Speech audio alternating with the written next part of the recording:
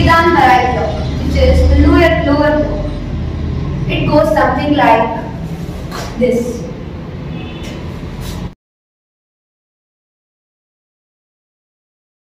Secondly, inside block, also known as Uchi Uke block, of this right hand something like this. And from our right hand, if we make our left hand goes inside and then we'll open it from here like this. Same with the other hand too. So,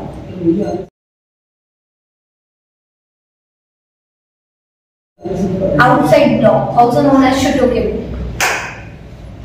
Left hand out, hand something like this, and from here only we'll open it. Expose.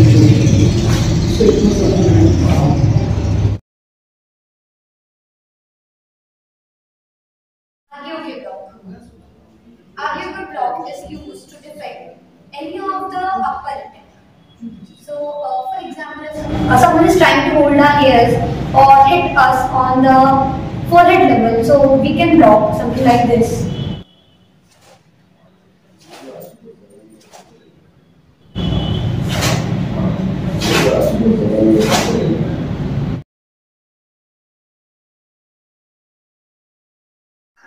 So, uh, in this stance, we have to make a L-type shape and now it goes like uh, legs and we'll open our hands something like this.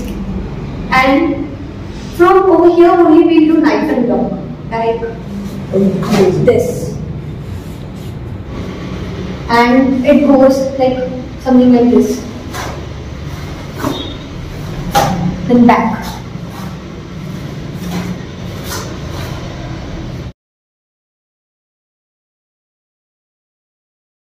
Now I'm going to show you the usage of the blocks which I have already shown. I would like to call my karate mate Sonu Sevilia to help me show Senbon attack. Yo. Back gone to Sadachi. Think. Knee. Sun. Yay! Back gone to Sadachi. Hasmi.